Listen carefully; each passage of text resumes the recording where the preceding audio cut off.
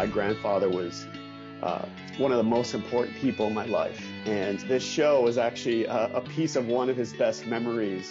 What was so interesting, uh, there he is. Um, I still can't believe he's gone. You guys surprised me right there with my grandpa, and it was one of the best memories he ever had.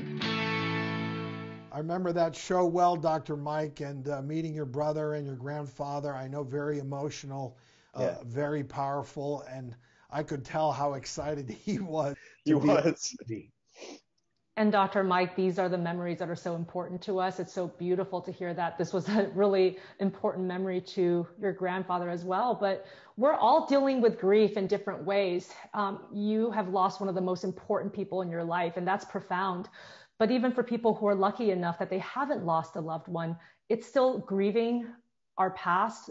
You know, this is completely changing this entire generation and how we live and connect with one another. And I feel like that deserves to be discussed more. People are kind of carrying on as if they're supposed to be doing everything that they're still expected to do. But when you lose a loved one and when you really feel that loss for yourself personally, it really brings a whole other dimension to just how we approach life in general and what we should be doing with people when they are still here with us. You're so right, Dr. Judy. And it so reminded me of just how important connection is. Yes. You know, all the things that we take for granted. You know, we all we all know it. You know, we all know we should exercise. We all know we should talk to people and be vulnerable and spend time with our families.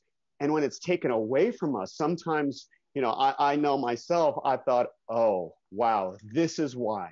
This is why it's important. And, you know, we all know that an ounce of prevention is worth a pound of cure.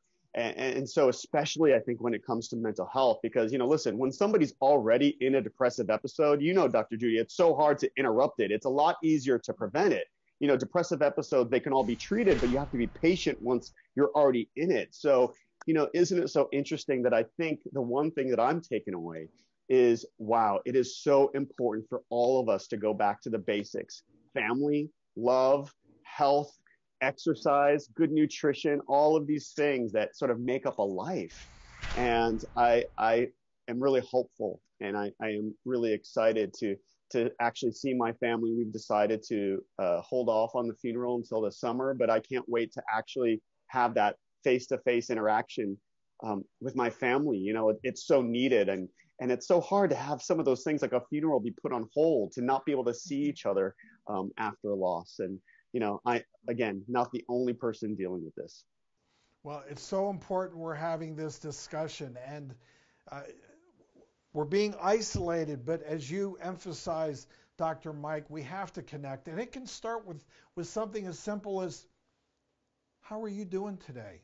How are you feeling today? You don't have to have a PhD in psychology to reach out. I mean that that's the most simple form of therapy. Some people are in need of, of more uh, intense therapy. So, to you, Dr. Judy, for those who may be apprehensive about actually starting real therapy that's warranted, what do you suggest? Well, first of all, I understand stigma is very real. People have all kinds of negative self perceptions about the fact that maybe, quote unquote, they're not strong enough to not experience these symptoms, but that's not the way that it works. And I hope that people can start to have this conversation, normalize it. This is what we're doing here. And I'm so thankful for this platform to be able to talk about this because there's no shame in asking for professional help and we all need it sometimes.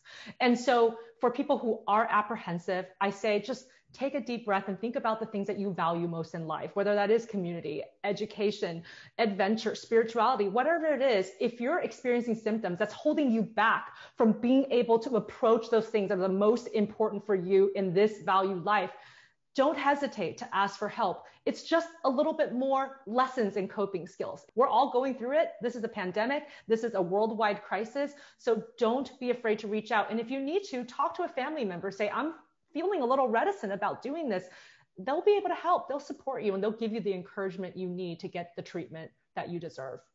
Such important tips. Great stuff, Dr. Judy. And uh, Dr. Mike, thanks again. All your insight,